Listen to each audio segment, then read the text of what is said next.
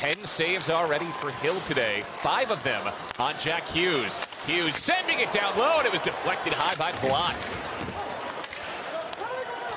Devils been in total control, but find themselves down 1 nothing. Here's Bratt on a one-timer. It's a tie game. Jesper Bratt on the power play. Devils get a well-deserved goal.